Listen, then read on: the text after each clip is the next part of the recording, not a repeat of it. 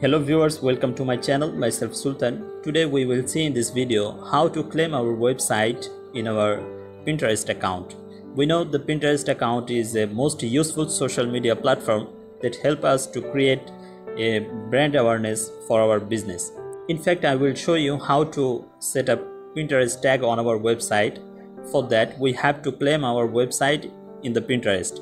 In this order, I want to show you how to claim our website in the Pinterest account. So let's go how to do that. This is my Pinterest account and this is my website. I will claim this website in my Pinterest account. First of all, go to edit profile and from the left hand side menu, go to claimed accounts and click on claim.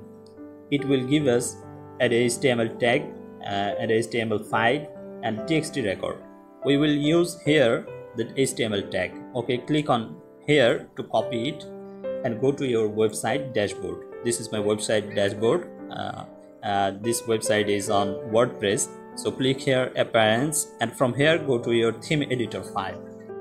Then from here right hand menu go to your header.php file and paste that code in head section.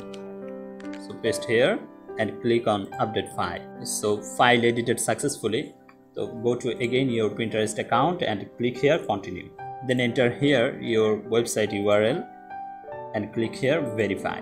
Okay connected. You are all set. So our uh, website is connected with our pinterest account and click here click here done. Now you will get an email from pinterest that will tell you that your website is claimed. So i want to show you that gmail. Go to gmail here you go. This is the email. Website claimed. Okay that's it in this video.